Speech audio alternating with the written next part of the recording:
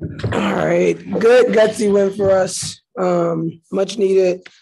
Um, good for our morale. I thought the girls came out and played really hard, especially the second the second half. Um, you know, they took constructive criticism from the first half and really made a big change in the second half. So really proud of that win. Uh, Gabrielle Lewis, go ahead. Hi all. Uh, Coach, can you talk a little about what was the halftime speech looking like? Like what was that constructive criticism focusing on? Stop fouling and stop turning the ball over. Okay.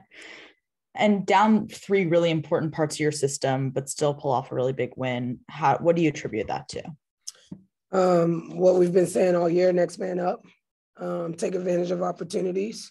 Um, you know, I think for for young for a young team, they got to understand that um, you know you don't miss opportunities. Opportunities just go to other people, and so for what we're missing, right, it's just an opportunity for somebody else on our team to have a big night and to be able to step in and get some experience and different things like that. And I thought tonight um, people took advantage of those opportunities, particularly Naz.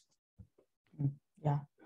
Cheyenne, brilliant at the rim tonight. Uh, what felt good? Um, and last time y'all were in Phoenix, similarly had a great game, and then the other time another double double. So, what about this venue or this team? I don't know that, that you're so dominant with. I mean, coach just emphasizes, you know, that we're dominating there in the post. So um, my mindset from the beginning was just to be aggressive. Yeah, I thought CP did a really good job of establishing herself, showing herself early, showing that she wanted the ball, she wanted touches, and taking advantage of those one-on-one opportunities. And when she gets those, she's she's pretty tough to um, have to defend, especially one-on-one. They brought some doubles, but when she was down there one-on-one, I thought she did a good job of taking advantage. Absolutely. And Naz, how's it feel to get your first professional start? And you know, just like what coach is talking about, the next man up. Like, how's that feel tonight to get that opportunity? yeah, all in all, my mindset was just to do the little things. Um, you know, not really worrying too much about the start. Um, you don't want to, you know, give yourself too many nerves, but just trying to bring what I could, what I could bring. You know, not trying to be somebody else who who wasn't here tonight, but doing the little things that I could to contribute to the team. Um, and that was my focus. Mm. And coach, y'all stayed so strong throughout the fourth quarter tonight, which you know was kind of missing in the Chicago game earlier this week, as well as also Washington two weeks ago, and this was you know a seasoned opponent. So what helped there?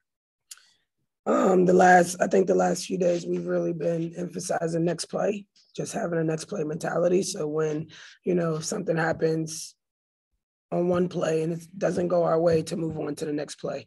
And I thought they really um, were the epitome of the next play mentality today. Great. Um, all right, I think that's all for me. Thank you.